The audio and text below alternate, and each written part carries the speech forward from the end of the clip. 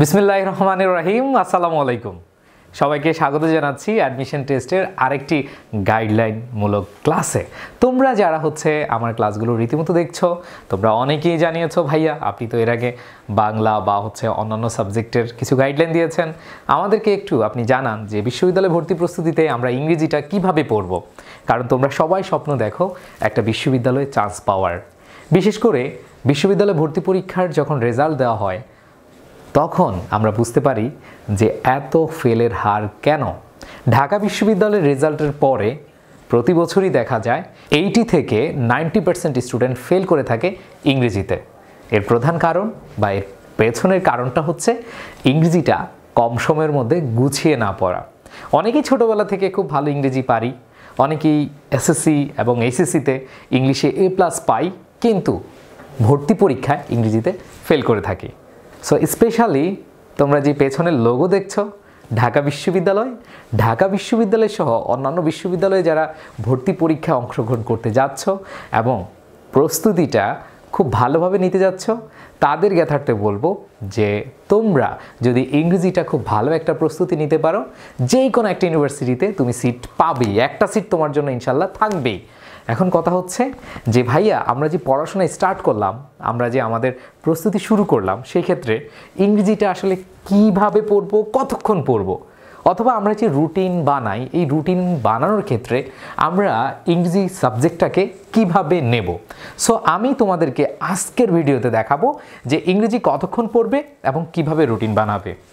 এখন কথা হচ্ছে, আমি যে গাইডলাইনটা দিব এটা যে সেম তুমি ফলো করবে, তা কিন্তু নয়। সেক্ষেত্রে তুমি তোমার মতো করে একটু চেঞ্জ করে নিবে মানে মডিফাই করে নিবে। ধরো, আমি একটা জিনিস বলেছি, তুমি এইভাবে করতে। তুমি ওই জিনিসটাই করবে বাট তোমার মতো করে করবে। এইটা একটা বড় বিষয়। তোমরা অনেকেই হয়তো বা চিন্তা করবে যে, ভাইয়া যেভাবে বলছে, আমি সেভাবেই করব। নো আমি যে জিনিসগুলো বলছি, সেগুলোই তুমি করো বাট তোমার মতো করে। ধরো আমি একটা জায়গায় বললাম, তুমি দেড় ঘণ্টা এটা পড়ো। তুমি মনে করলে, না, এটা আমি দেড় ঘণ্টা পড়ব না, এটা আমি আর একটু কম টাইমে পড়ব, কারণ এই জায়গাটা আমার ভালো দখল আছে। ঠিক আছে? অথবা ভাইয়া, আমি বললাম, তুমি এটা দেড় ঘণ্টা পড়বা? তুমি চিন্তা করলা, না, আমার তো এখানে একটু উইকনেস আছে সো আমাকে একটু আরও ভালো করে পড়তে হবে সো আমি একটু সময় বেশি নিব। ঠিক আছে? সো আমার আজকের যেই গাইডলাইনমূলক ক্লাস এই ক্লাসে মানে ইংরেজি ক্লাস আমি তোমাদেরকে বলছি, যেহেতু আমি ইংরেজি পড়াই প্রায় দশ বছর ধরে প্লাস আমি আমার অ্যাডমিশন টেস্টে ঢাকা বিশ্ববিদ্যালয়ে ভর্তি হওয়ার আগে আমি যে রুটিনটা বা যে ফর্মেটটা ফলো করেছিলাম, সেটাই তোমাদের মাঝে শেয়ার করব। তবে একটা কথা, সেটা হচ্ছে আমাদের সময় কিন্তু লিখিত ছিল না। সো লিখিতটা আমি অ্যাড করেছি তোমাদের জন্য বাট আমি যখন পড়েছি তখন কিন্তু কি ছিল না? লিখিত ছিল না। সো আশা করি আজকের এই ভিডিওটি তোমার লাইফের ইংরেজির জন্য বা ইংরেজির গাইডলাইনের জন্য সেরা ভিডিও হবে। যদি একটু মনোযোগ দাও। তুমি যদি এইভাবে একটু ফলো করতে পারো ইনশাল্লাহ তোমার রেজাল্ট অনেক বেশি ভালো হবে। আমি একটু চলে যাই আমাদের মেইন আলোচনায়। প্রথম কথা হচ্ছে, আমি তোমাদেরকে এর আগেও বলেছিলাম যে যারা অ্যাডমিশন টেস্টের প্রস্তুতি নিচ্ছ, তোমরা ন্যূনতম দশ থেকে এগারো ঘণ্টার একটা রুটিন করবে। দশ থেকে এগারো ঘণ্টা যদি তুমি পড়তে পারো, তাহলে তোমার জন্য খুবই খুবই খুবই ভালো হবে। তুমি অন্যদের থেকে অনেক বেশি এগিয়ে যাবে। এর মধ্যে তুমি ইংরেজিকে, আমি এখানে তিন থেকে চার ঘণ্টা বলব না, ইংরেজিটাকে আমি একটু বেশি বাড়িয়ে দিয়েছি, কারণ তোমরা এটা হয়তো বা ভাববে যে, ভাই, আমি তিন থেকে চার ঘণ্টা পড়ব। সেক্ষেত্রে আমি তোমাদেরকে বলব, তোমরা পড়বে হচ্ছে চার থেকে পাঁচ ঘণ্টা। তোমরা পড়বে কি? চার থেকে পাঁচ ঘণ্টা। অনেকে বলব ভাই, আমার এত সময় নাই, আমি এত পড়াশোনা করতে পারব না। সেক্ষেত্রে আমি বলব ভাই প্লিজ এগুলা বলা যাবে না। চারটা মাস আছে, তিনটা মাস আছে, যতগুলো সময় আছে, তুমি প্লিজ এই জায়গাটা একটু মাথায় রেখে তারপরে কি প্রস্তুতিটা নাও। যত বেশি পড়বে, যত বেশি পড়ার মধ্যে থাকবে, তুমি দেখবে যে তোমার শেখার জায়গাটা আরও বাড়ছে। তুমি একটু একটু করে আরও বেশি শিখতে পারতেছো। সো আমি তোমাদেরকে বলব, চার থেকে পাঁচ ঘণ্টার একটা রুটিন বানাবে এবং সেই জায়গাটায় তোমাদেরকে বলছি, এই ইংরেজিটাকে তোমরা যখন রুটিন বানাবে, সেক্ষেত্রে চারটা ভাগে ভাগ করবে। একটা হচ্ছে ইংলিশ গ্রামার একটা হচ্ছে ইংলিশ ভোকেবুলারি একটা হচ্ছে টেক্সট বুক আর একটা হচ্ছে কি রিটার্ন সো এই চারটা ফরম্যাট কত মিনিট করে তুমি পড়বে, আমি একটা আইডিয়া দিয়েছি। আমি আবার বলেছি তোমাদেরকে একবার শুরুতেই যে আমি যা বলছি বা আমি যত মিনিট বলেছি, তত মিনিটই পড়তে হবে? ন এটা হচ্ছে আমার একটা রাফ আইডিয়া দেওয়া। তোমরা যাতে করে তোমাদের মতো করে কি করতে পারো? নিজের মতো করে সাজিয়ে দিতে পারো। যেমন এখানে হচ্ছে ইংলিশ গ্রামার সো এই গ্রামারটা যেটা তোমরা দেখতে পাচ্ছ, এখানে এক ঘণ্টা দশ মিনিট। এই এক ঘণ্টা দশ মিনিট তোমরা রাখতে পারো প্রতিদিন। আমি আবার বলছি তোমরা যদি সফল হতে চাও, তাহলে ওই কাজটা প্রতিদিন ডে বাই ডে তোমার কি করতে হবে? চালিয়ে যেতে হবে। বাট তুমি যদি চিন্তা করো, আমি আজকে পড়লাম, আবার দুই দিন ঘুমালাম, তাহলে কিন্তু হবে না। প্রতিদিন দেড় ঘণ্টা, এক ঘণ্টা, যেভাবেই বলো না কেন, আমি যে সেগমেন্টটা বলছি, সেটা অনুযায়ী তুমি কি চেষ্টা করবে?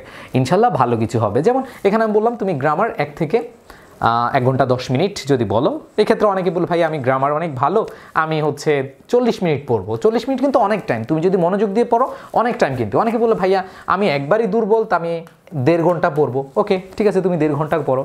তুমি দেড় ঘণ্টা পড়লে কি কিন্তু তোমাকে ধরে রাখবে না, তাই না? আচ্ছা এরপর দেখো ভোকেবুলারি এই ভোকাবুলারির জন্য তুমি দুই ঘণ্টা বিশ মিনিট রাখতে পারো। ঠিক আছে? এবং কীভাবে পড়বে? একটু পরে আলোচনা আসতেছে। ভোকাবুলারি কীভাবে পড়বে? গ্রামার কীভাবে পড়বে? যেটা আমি তোমাদেরকে একটা ভালো গাইডলাইন দিব আশা করি। সেই জায়গাটা যদি তুমি ফলো করো, অনেক ভালো করতে পারবে। বাট আমি এখানে দেখাচ্ছি শুধু টাইমটা তুমি এখানে দুই ঘণ্টা বিশ মিনিট নিতে পারো। তোমরা সবাই জানো যে ইংরেজিতে এই ভোকাবুলারি পার্ট বা মেমোরাইজিং পার্ট এই পার্টটা অনেক বেশি কঠিন এবং বিরক্তিকর। এটা ভালো লাগে না পড়তে। গ্রামার যেমন পড়লে যখন তুমি পারতেছো, দাগাইতেছো, সঠিক অ্যান্সার হচ্ছে তুমি তোমার কিন্তু কি ভালো লাগছে।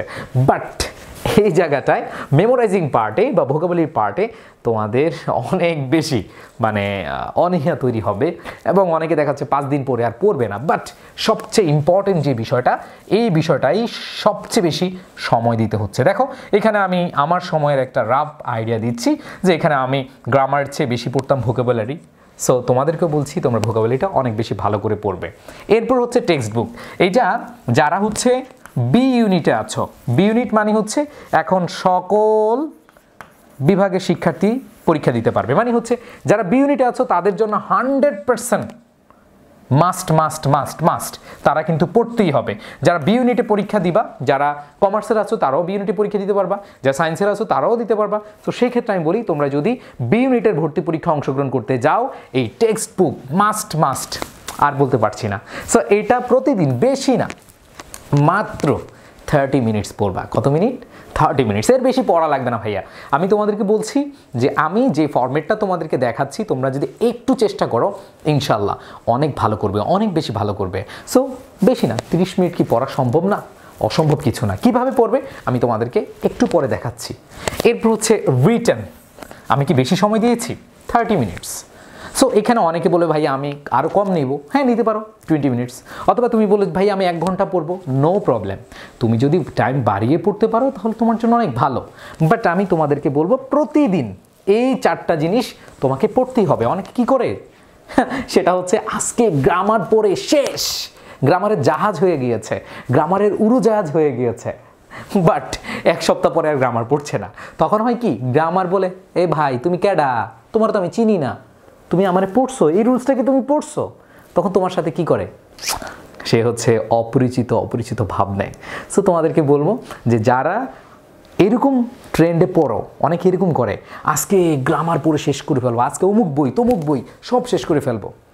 আবার আরেক পর্যায়ের স্টুডেন্ট আছে ভোকাবলারি ওরে বাবা রে বাবা, ভাইয়া বলছে ভোকাবলারি পড়তেই হবে মাস্ট মাস্ট মাস্ট মুখস্থ করতে আচ্ছা দেখি আমার কে ঠেকায়। তখন কি করে? একটা ভোকাবলারির বই নেয়, নিয়ে ধুমধাম পড়তে থাকে। পাঁচ দিন, ছয় দিন টানা পড়ল। এরপরে দেখল হায় রে আমার তো অন্য বিষয় আছে। আমার তো অন্য বিষয় পড়তে হবে। আবার অন্য বিষয় শুরু করল। আবার দশ বারো দিন পরে ভোকাবলারি বলে, এই যে বাবা ভোকাবলারি তুমি কি আছো বেছে ভোকাবলারি কয়, তুমি ক্যাডা? আমি তো তোমার চিনি না। সো এই প্রবলেমটা হয় কিন্তু। ভোকাবলারি তখন তোমাকে চিনে না। মানে তোমারে মানে ভোকাবলারি মনে থাকে না। কোনোভাবেই সে স্মরণ করতে পারে না। সো বিষয়টা হচ্ছে একবারে প্রতিদিনের শিডিউল এভাবে পড়বা, অল্প অল্প করে পড়ো, ঠিক আছে? বাট এটা হচ্ছে তুমি প্রতিনিয়ত চালিয়ে যাও। এরপর দেখো টেক্সট বুক বলো রিটেন বলো, এগুলো হচ্ছে তোমার কি করতে হবে? প্রতিদিন চালিয়ে যেতে হবে। এখন কথা হচ্ছে ভাইয়া, তাহলে আসেন, একটু গাইডলাইন দেন। যে আমরা ইংলিশ গ্রামার কীভাবে পড়ব? আমরা ইংলিশ গ্রামারটা কীভাবে পড়ব? তোমরা যদি প্রিভিয়াস ইয়ার্স কোয়েশ্চেন দেখো, একটু খেয়াল করে দেখো ইংলিশ কোয়েশ্চেন তুমি দেখলে পাঁচ থেকে আটটা প্রশ্ন কিন্তু ইংলিশ গ্রামার থেকে আসে। তার মানে forty fifty sixty percent question কিন্তু এখান থেকে আসে। সো এটা পারার জন্য তোমার কি করতে হবে বা কীভাবে পড়তে হবে সেটা একটু খেয়াল করবে সবাই। দেখো, এখানে খেয়াল করো, এটা হচ্ছে বোঝার জিনিস, মুখস্থ জিনিস না। অনেকে গ্রামার মুখস্থ করে। এটা আমি দেখেছি। আমার যেহেতু অনেক দিন ধরে এই বিষয় নিয়ে কাজ করা সো আমি দেখেছি অনেক স্টুডেন্ট না বুঝে খালি মুখস্থ করতে যায়। মনে রাখবা, যারা হচ্ছে মুখস্থ করে, তারা গ্রামার প্র্যাকটিক্যালি কাজে লাগাতে পারে না। তাদের রুলস মাথায় আছে বাট তারা কি করে না? পরীক্ষার হলে প্রশ্ন দেখলে সঠিক অ্যান্সারটা করতে পারে না। সো আমি তোমাদেরকে যে জিনিসটা বলছি, সেটা হচ্ছে তোমরা রুলস মুখস্থ করার জন্য পড়বে না। তোমরা যেটা করবে সেটা হচ্ছে ভালোভাবে বুঝে বুঝে পড়বে। তার মানে এখানে রুলসটা পড়তেছো, সেটা ভালোভাবে বুঝতে হবে, সেটা কি করতে হবে? ভালোভাবে বুঝতে হবে। এরপরে দেখো, সেটা হচ্ছে রুলস মাথায় সেট করে নিতে হবে। এখন কথা হচ্ছে বুঝলা। বুঝার পরে এটা কি? একবারে টোটাল বলবা, এই তুমি এখানে গেঁথে যাও। ওই যে আমরা দেখি না, প্যারেক প্যারেক মারা। একবার প্যারেক মেরে দিবা। ওই, এদিক দিয়ে বেরোবি? না। এদিক দিয়ে বেরোবি? না। কোনো ছিদ্র রাখা যাবে না। এটা যেন মাথা থেকে বের না হয়, ঠিক আছে? যেভাবে আছে, সেভাবেই যেন থাকে, ঠিক আছে? আচ্ছা এরপর কথা হচ্ছে, ওই রুলসের আওতায় যত উদাহরণ আছে, অনেকেই ভুলটা করে রুলস মুখস্থ করে সেটও করে বাট উদাহরণটা তারা বুঝে না। উদাহরণটা অনেক বেশি ইম্পর্ট্যান্ট তুমি যত বেশি উদাহরণ পারবা, তোমার প্রশ্ন পারার সক্ষমতা তত বেশি বাড়বে। সো আমি তোমাদেরকে বলছি যে, এই ক্ষেত্রে তোমরা কি করবা? যে, তোমরা যেই রুলস পড়ছো, সেটার আওতায় যত উদাহরণ আছে, যত বেশি এক্সাম্পল পড়বা। যেমন তোমরা আমার যারা সাবজেক্ট ভার্ব এগ্রিমেন্টের ফ্রি ক্লাস করেছ, তোমরা যারা যারা করেছ, একটু কমেন্ট করে জানাও। যে ভাইয়া, আমরা আপনার ফ্রি ক্লাস করেছি সাবজেক্ট ভার্ব এগ্রিমেন্টে দেখো, আমি একটা রুল শিখিয়েছি, এবং সেখানে অনেক অনেক এক্সাম্পল দিয়েছি। অনেকে আমাকে এইভাবে কমেন্ট করছে, ভাইয়া, এগুলো তো পারি, সহজ লাগে, আর করিয়া করায়েন না। ঠিক আছে? অনেকে বলে, ভাইয়া, আর উদাহরণ করিয়া মানে আমরা করতে চাই না। সো ভাইয়া এই যে জায়গাটা তোমার কাছে শয়তানে বলবে, দূর বেটা, তুই তো পারিস। তোর এত উদাহরণের কি দরকার? হ্যাঁ এমনি পারিস। আবার এই শয়তানি কি বলে জানো পরীক্ষার হলে? এই উদাহরণটা কি তুই পড়ছস? কই, তুই তো পড়স নাই, তুই এটা পারস না। থাক থাক দাগাইস না। ও, না, পড়ছস, একটু দাগা তো, ভুলটা দাগা ভুলটা দাগা। তখন শয়তান তোমাকে কি করে? ক্লিক মারে, ঠিক আছে? সো আমি তোমাদেরকে বলব, যত রুলস পড়বা, চেষ্টা করবা। যে উদাহরণটা ক্লিয়ার হওয়া, অনেক বেশি উদাহরণ করা। উদাহরণ যত বেশি করবা এক্সাম্পলের জন্যই তুমি দেখবা যে ইনস্ট্যান্ট কোনো প্রশ্ন বা বিগত সালের প্রশ্ন তুমি পেরে যাচ্ছ। ওকে আচ্ছা দেখো। সো এখানে বই থেকে অনুশীলন করবা, যে কোনো বই থেকে তোমরা অনুশীলন করবা। এখন অনেকের কথা হচ্ছে, ভাইয়া, এই গ্রামারগুলো রুলস অনুযায়ী কোথায় আছে? আমি তোমাদেরকে বলব, তোমরা হান্ড্রেড রুলস কাদের কাছে আছে? দেখি, আমি জানি যারা আমার ইউটিউবে আছো, যারা আমার ফেসবুক পেজে আছো, তোমাদের কাছে hundred rules of English grammar. English grammar একটা ছোট্ট বই আছে। এই বইটাতে একশোটা রুল আছে। অ্যাডমিশনের জন্য বা কম্পিটিটিভ এক্সামের জন্য এনাফ তোমরা হচ্ছে এই রুলটা বুঝে বুঝে পড়বা, সেখানে এক্সপ্লেনেশন আছে। এই বইটা তোমরা পড়লে আশা করি তোমরা মানে কেনার দরকার নাই, বই কেনার দরকার নাই। তোমরা হচ্ছে দেখবা, আমার প্লে লিস্ট একটা প্লে লিস্ট আছে ইউটিউবে ফ্রি ক্লাস দেখবা ওইখানে, ওই প্লে লিস্টে পঞ্চাশটার মতো ক্লাস আছে। এক থেকে পঞ্চাশটার মতো ক্লাস আছে। আমি সবগুলো পর্যায়ক্রমে দিচ্ছি, ওই ক্লাসগুলো করবা, বই কেনার দরকার নেই। তোমরা দেখো, আমি ডিসক্রিপশনে দিয়ে দিব।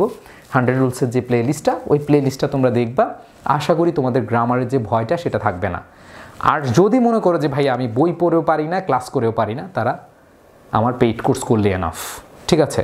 আমি জানি না তোমরা আমার ক্লাস বুঝো কিনা বাট আমি তোমাদেরকে বলব, তোমরা যদি আসলেই ভালো করতে চাও, যদি কম বুঝো, অবশ্যই তোমরা আমার যে ক্লাসগুলো আছে, আমার পেইড কোর্সের যে ক্লাসগুলো আছে, সেগুলো তো তোমরা অ্যাড হয়ে যাবে। ইনশাল্লাহ আমি কথা দিচ্ছি, আমি যেহেতু তোমাদের নিয়ে কাজ করি, তোমাদের জন্যই পরিশ্রম করছি, তোমরা অনেক বেশি ভালো করবে। ওকে আচ্ছা সো গ্রামারের ক্ষেত্রে তোমরা এই জিনিসগুলো মাথায় রাখবে। এখন চলো, আমরা ভোকাবুলারিতে চলে যাই। আমরা ভাইয়া ভোকাবুলারি কীভাবে পড়ব? ঠিক আছে? এখন সবার কথা হচ্ছে, ভাইয়া ভোকাবুলারি বা মেমোরাইজিং পার্টটা আমি কীভাবে পড়ব বা কীভাবে রুটিন বানাবো? এখানে বলছি পাঁচ থেকে আটটা প্রশ্ন তোমাদের আসার সম্ভাবনা থাকে এবং সেই ক্ষেত্রে যে টপিকগুলো আছে synonym antonym spelling group bar translation idioms and phrase preposition মানে অ্যাপ্রোপ্রিয়েট প্রেপোজিশন এগুলো মুখস্থ করতে হয়। সো এগুলো কীভাবে পড়বা? আচ্ছা প্রতিদিন প্রতিটা টপিক্স থেকে অন্তত দশটা করে পড়লে আগামী পঞ্চাশ দিনে পাঁচশোটা করে পড়া যাবে। ইটস ওকে আমি তোমাদেরকে এই জায়গায় নিয়ে যাব না। তোমাদেরকে একটা মেথড শেখাবো আর এন মেথড কি মেথড আর এন মেথড এটা কি কোনো বৈজ্ঞানিক কোনো মেথড না। এই মেথডটা আমি যখন পড়েছিলাম, বিশ্বাস করো আমি ভোকাবলিটা পড়তাম মানে যেহেতু অ্যাডমিশন টাইমে সবাই পড়াশোনা করি, আমি অনেক বেশি পড়াশোনা করেছি, আলহামদুলিল্লাহ। আল্লাহ আমাকে সেই আমার যে চাওয়াটা, যে প্রত্যাশাটা ছিল, আমার যে ইচ্ছা ছিল, আল্লাহ আমার সেই আশা পূরণ করেছেন। আমি ঢাকা বিশ্ববিদ্যালয়ে চান্স পেয়েছি। সো আমি তোমাদেরকে বলি একজন ঢাকা বিশ্ববিদ্যালয়ের বড় ভাই হিসাবে তোমাদের পরিবারের বড় ভাই হিসাবে একজন শিক্ষক হিসাবে আমি তোমাদেরকে আমার জায়গা থেকে এটাই বলছি আমি প্রতিদিন সকালবেলা নামাজ পড়ে ফজর নামাজ শেষ করে আমি ভোকাবলিটা পড়তাম। এবং কীভাবে পড়তাম? এই আর এন মেথড অনুযায়ী। আর এন মেথড মানে কি জানো? এটা হচ্ছে রিভিশন প্লাস নিউ তো রিভিশন যেটা এটা হচ্ছে আর আর নিউ মানে কি? হ্যাঁ, এখানে N R N method so এই মেথডটা আমি নিজেই বানিয়েছিলাম। আমি এটা অনেক গর্ব করে বলছি না বাট একটা প্র্যাকটিক্যালি আমি আমার ফলাফল পেয়েছি। এই জন্য এই জায়গায় আমি তোমাদেরকে একটু ক্লিয়ার করে দিচ্ছি। ঠিক আছে? দেখো। সো এখানে আর এন মেথডটা কি? কীভাবে পড়বা? ধরো, তুমি সিনোনিম অ্যান্টোনিম প্রতিদিন দশটা পড়লা। স্পেলিং দশটা গ্রুপ ভার্ব দশটা ট্রান্সলেশন দশটা ইডিয়াম অ্যান্ড ফ্রেজ দশটা প্রেপোজিশন কি? দশটা। এটা কি আজকে পড়লা? ধরলো আজকে কোন একটা তারিখ দিলাম। ধরো আজকে হচ্ছে পাঁচ তারিখ। তুমি ছয় তারিখে গিয়ে এই দশটা, এই যে দশটা আছে না, এই দশটা এই দশটা তুমি কি করবা? ছয় তারিখে গিয়ে আগে এই দশটা পড়বা মানে রিভিশন দিবা। এরপরে নতুন আরও দশটা পড়বা। এরপরে দেখো স্পেলিং দশটা পড়বা। আবার নতুন করে দশটা। মানে তুমি এই যে আগের পড়াটা কি দিচ্ছ? রিভিশন দিচ্ছ? নতুন করে কি? তার মানে এটা হচ্ছে আর রিভিশন এটা হচ্ছে কি নিউ আবার দেখো, এটা হচ্ছে রিভিশন এটা হচ্ছে কি নিউ আবার সেমভাবে এটা কি রিভিশন প্লাস হচ্ছে কি নিউ এভাবে পড়তেছো, এখন পরদিন কি হচ্ছে? সাত তারিখে তোমার রিভিশনের জন্য কয়টা হচ্ছে? তোমার রিভিশনের জন্য হচ্ছে দুইটা মানে দুই দিনে দশটা দশটা কি? বিশটা। বিশটা তুমি রিভিশন দিবা এবং অনেকেই বললে ভাইয়া, বিশটা রিভিশন দিতে তো অনেক টাইম লাগবে। আসলে কিন্তু তা না। তুমি প্রথম দিনে যত অপরিচিত মনে হয়েছে। দ্বিতীয় দিনে কি তত অপরিচিত মনে হবে? না। এটা আননোন মনে হবে না। সো তোমাকে বলছি, এই তৃতীয় দিনে তুমি বিশটা আগে রিভিশন দিবা, এরপরে কি দশটা পড়বা। আবার পরের দিন, ধরো আট তারিখ, আট তারিখে কি তোমার হয়ে গেল তিরিশটা তিরিশটা রিভিশন দিবা, বেশি সময় লাগে না। তোমরা একটু অ্যাপ্লাই করে দেখবা, আমি কি সত্যি বলছি? না, মিথ্যা বলছি, তোমরা প্রমাণ পেয়ে যাবা। আর এই মেথডে যারা পড়াশোনাটা করবা হান্ড্রেড পারসেন্ট হান্ড্রেড পার্সেন্ট ভালো করবা, হান্ড্রেড পার্সেন্ট, আমি লিখিয়ে দিচ্ছি। আমার আলহামদুলিল্লাহ, আমার ভোকাবুলারি যতটুকু আল্লাহ আমাকে মানে নেওয়ার তৌফিক দান করেছেন, সেটা হচ্ছে এই মেথডটার কল্যাণে। এই মেথডে পড়ে আলহামদুলিল্লাহ অনেক অনেক ওয়ার্ড আমি শেষ করেছি এবং চান্স পেয়েছি। ইংরেজিতে অনেক ভালো করেছি এবং সেই জিনিসগুলোর মাধ্যমেই তোমাদেরকে কি পড়াচ্ছি। ঠিক আছে? সো এখানে একটু খেয়াল করো, এই আর এন মেথডটা তোমরা সব সময় চেষ্টা করবা এটা ম্যানেজ করার জন্য, এটা মেনটেন করার জন্য। আশা করি তোমরা কি খুব ভালোভাবে ভোকাবলির আয়ত্ত করতে পারবে। আমি তারপরে আলাদা করে তোমাদেরকে ভিডিও দিব আর এন মেথড নিয়ে। আর এন মেথড নিয়ে আমার একটা ভিডিও আছে অলরেডি তোমরা সেটা দেখতে পারো। এবং সেটা মেবি এক থেকে দুই বছর আগে আমি করেছিলাম। তোমরা চাইলেই ওইটাকে দেখতে পারো। এরপরে আসো টেক্সট বুক এটা বি ইউনিটের জন্য মাস্ট মাস্ট লাগবে। ঠিক আছে? এখন কথা হচ্ছে, ভাইয়া, এটা আবার কি? বুঝতেছি না, এগুলো দেখা যাচ্ছে না। ঠিক আছে? অনেকেই বলবা। সো টেক্সট বুক কীভাবে পড়ব? প্রথম কথা হচ্ছে টেক্সট বুকটা যারা বি ইউনিটে পরীক্ষা দিবা, তাদের জন্য অনেক বেশি ইম্পর্টেন্ট সি ইউনিটে যারা দিবা, তারা স্কিপ করলে হয় বাট অনেকে সি ইউনিট থেকে আবার বি ইউনিটে পরীক্ষা দিবে। সেক্ষেত্রে আমি তোমাদেরকে বলছি, আমি জানি না লেখাটা বোঝা যাচ্ছে কিনা, তোমাদের এখানে ক্লিয়ার বোঝা যায় কিনা। যেমন, এখানে আমি unit one lesson one people আর ইনস্টিটিউশন মেকিং হিস্টোরি একটা যে ইউনিটটা আছে, সেখানে প্রথম লেসনে আমরা দেখি দ্য আনফরগেটেবল হিস্টোরি এখানে my brothers I stand before you today with a heart overflowing with grief এখানে দেখো, এই প্যাসেজটার প্রথম প্যারাটা, আমি তোমাদেরকে এখানে বলব আগে ভালো করে পড়ো। ভালো করে পড়ার পরে তোমরা যেটা করবে সেটা হচ্ছে, এটা ট্রান্সলেশন করে মানে অর্থ অনুযায়ী পড়বা। ধরো যে প্যাসেজটা পড়ছো, ওই প্যাসেজটার অর্থ অনুযায়ী তুমি পড়লা। এরপরে যেটা করবা সিনোনিম অ্যান্টোনিম এখানে গ্রিপ অর্থ কী অ্যাওয়ার্স অর্থ কী, অ্যাসেম্বলি অর্থ কী ওভারফ্লোয়িং অর্থ কী, এগুলো একটু তোমার জানতে হবে। কারণ কি? কারণ হচ্ছে তোমাদের ইউনিভার্সিটির question maximum text book related এই যে সিনোনিম অ্যান্টিনিমগুলো আসে, এগুলো টেক্সট বুক রিলেটেড আসে। সো এই ক্ষেত্রে তোমরা যেটা করবা, এই প্যাসেজটা মানে এই প্যারাটা পড়লা, এই প্যারাটার মধ্যে যেগুলো আননোন ওয়ার্ড এই আননোন ওয়ার্ডগুলো তুমি কি করবা? এই আননোন ওয়ার্ডেরগুলোর অর্থগুলো জানব সিনোনিম অ্যান্টিনিমগুলো জানবা। ঠিক আছে? এখন অনেকে বলে ভাইয়া এইভাবে সাজিয়ে দেওয়া আছে কোথায়? তোমাদেরকে আমি বলে দিচ্ছি বাট তোমরা আগে বুঝো। অ্যান্টিনিম এখান থেকে কমন পড়ে। সো এটা তোমরা কি করবা? দেখে নিবা। এরপরে আসো। প্রেপোজিশন প্রেপোজিশন যেমন অ্যাওয়ার অফ এই যে অ্যাওয়ার অফ অ্যাওয়ারের সাথে কি বসে? অফ বসে। আবার দেখো কোপ উইথ খাপ খাওয়ানো। কোপের সাথে কি বসে? উইথ বসে। সো এটা কোথায়? আমাদের বইতে দেওয়া আছে। সো এইগুলো তুমি নোট করে পড়বা। সেরকম নোট করে আমাদের যে ইএফটি বেসিক হ্যাক্স এই বইটা যদি আমরা কালেক্ট করতে পারি, তাহলে হচ্ছে আমরা খুব ভালোভাবে এরকম গুছিয়ে পড়তে পারব। সো তোমাদেরকে বলব যে এইভাবে যদি পড়তে চাও, ওই যে মেইন বই যেটা আছে মানে তোমাদের ইএফটি মানে ইংলিশ ফর টুডে যে বইটা আছে, ওইটাতে কিন্তু এত সুন্দরভাবে সাজিয়ে দেওয়া নাই। তোমরা যেটা করবা, সেটা হচ্ছে সাজিয়ে দেওয়া আছে এই বইটা এই বইটা কালেক্ট করবা, এই বইটা কালেক্ট করে তোমরা পড়বা ইনশাল্লাহ টেক্সট বুক নিয়ে কোনো প্রবলেম হবে না। তার মানে দেখো সিনোনিম গোছানো আছে প্রেপোজিশন আছে গ্রুপ ভার্বস আছে, এরপরে এমসিকিউ আছে। তুমি যেই প্যাসেজটা পড়লা না এই প্যাসেজটা আবার কি দেওয়া আছে? এটা খুব সুন্দরভাবে তোমাদেরকে প্রশ্ন আকারে দেওয়া আছে। ইউনিভার্সিটিতে যেভাবে আসে, সেভাবে দেওয়া আছে। আবার দেখো পরের প্যারা। পরের প্যারায় ট্রান্সলেশন করা আছে। ট্রান্সলেশনের পরে সিনোনিম আছে। সিনোনিমের পরে গ্রুপ ভার্ব আছে প্রিপোজিশন আছে। এগুলো তোমরা যদি এইভাবে পড়ো টেক্সট বুক তোমাদের আর টেনশন দিবে না। কারণ অনেকে টেক্সট বুক না বুঝে পড়ে। বাট আমি তোমাদেরকে বলব, এভাবে অল্প অল্প করে এর মধ্যে যা আছে হ্যাঁ নারী নক্ষত্র যা আছে সব কিছু তুমি এইভাবে যদি পড়ো, তোমাদের আর কোনো টেনশন নেওয়া লাগবে না। ঠিক আছে? সো টেক্সট বুক কীভাবে পড়বে এটা নিয়ে আমি আলাদা একটা ভিডিও দিব। শুধু ওইটা নিয়ে। এখন তো আমি জাস্ট হচ্ছে তোমাদের রুটিন বানিয়ে দিচ্ছি। সো এটার কথা বলেছিলাম, তোমরা কত মিনিট পড়বে? তোমরা থার্টি মিনিটস ন্যূনতম পড়বে থার্টি মিনিটস বেশি পড়া লাগবে না। থার্টি মিনিটস যদি তুমি পড়ো প্রতিদিন এনাফ এর বাইরে পড়ার দরকার নাই। এখন তারপরে যদি তোমার কাছে মনে হয় যে, ভাইয়া, আমি আরও টাইম বাড়াবো বা আরও কমাবো, এটা তোমার উপরে ডিপেন্ড করবে। অ্যান্ড লাস্ট আমি তোমাদেরকে নিয়ে যাব হচ্ছে লিখিত অংশে। লিখিত অংশ প্রতিদিন ত্রিশ মিনিট। অনেকেই তোমরা এই ভুলটা করো। কি ভুল? ভুলটা হচ্ছে, ভাইয়া, আমরা লিখিতটা পরীক্ষার আগে পড়ব। অনেকে এটা বলে, অনেকে এটা বলে এবং এটা করেও। আমি তোমাদেরকে যে জিনিসটা বলছি, সেটা হচ্ছে লিখিত অংশের ক্ষেত্রে।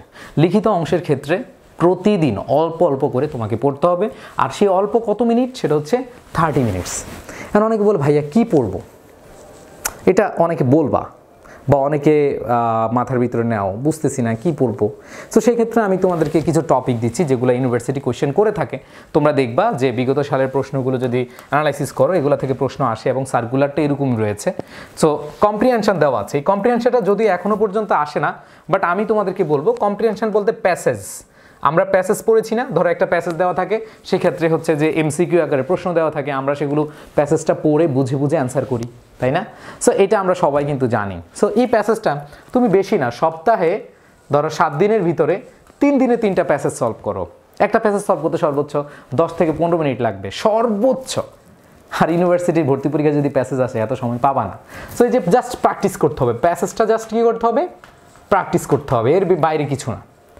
এরপরে most most important short paragraph তুমি প্রতি সপ্তাহে সাত দিনে তুমি তিনটা প্যারাগ্রাফ ধরো, পড়ো।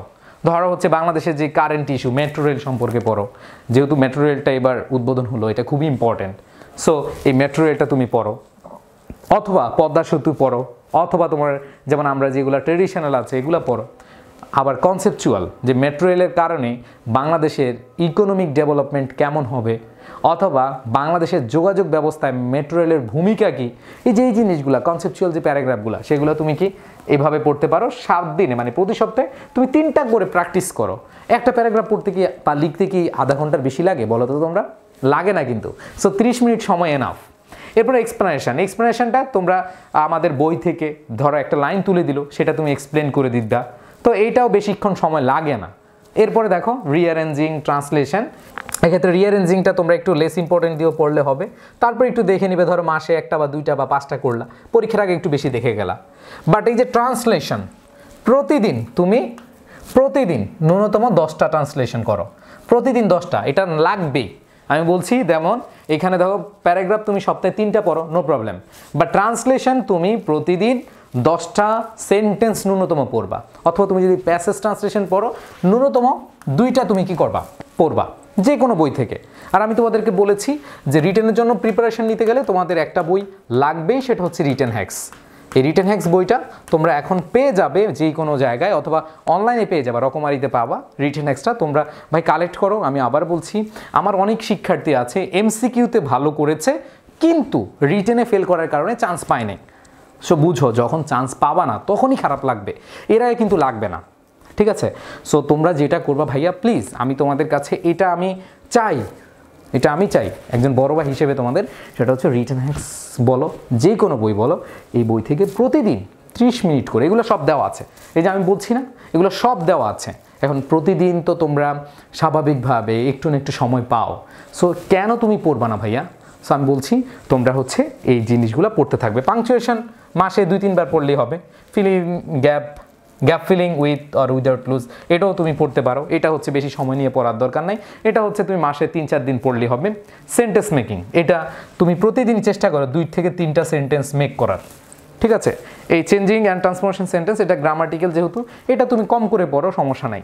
বাট কারেকশন মানে সেন্টেন্স কারেকশন যেটাকে বলে, এটা সপ্তাহে তুমি দুই থেকে তিন দিন। বিশেষ করে যারা সি ইউনিটে আছো সি ইউনিটে আছো মাস্ট যারা সি ইউনিটে আছে, তারা প্রতিদিন করবা। যারা সি ইউনিটে আছো, তারা কি? প্রতিদিন করবা।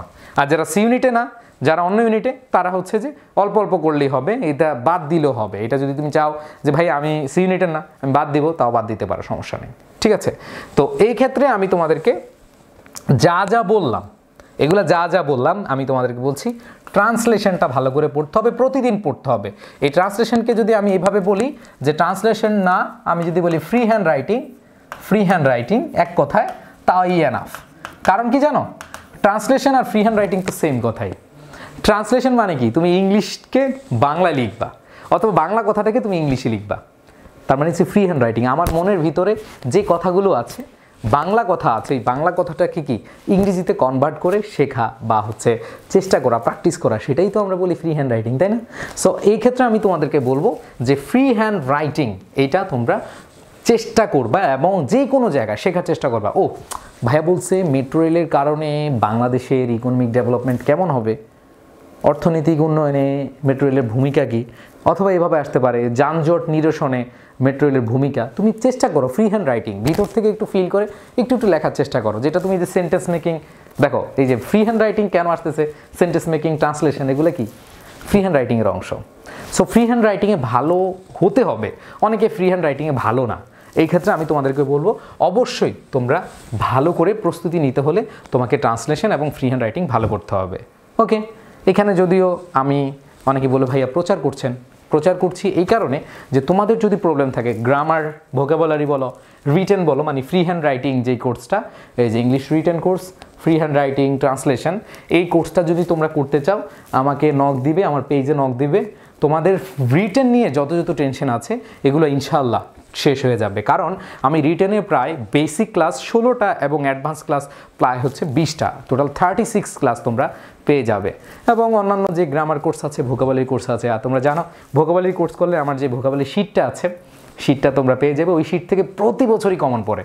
তোমরা যদি আমার স্টুডেন্টের রিভিউ দেখো মানে প্রিভিয়াস ইয়ার্সের স্টুডেন্ট যারা আছে, এদের রিভিউ দেখলে সবাই বলবে, মহসিন ভাইয়ার থার্টি ডে চ্যালেঞ্জ খুবই কার্যকরী।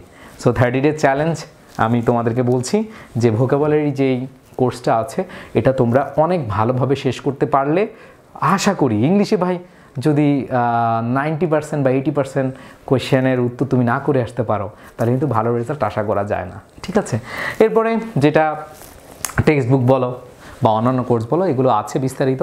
তোমরা চাইলে স্ক্রিনশট নিয়ে নিতে পারো বা আমার পেজে নক দিতে পারো। ঠিক আছে?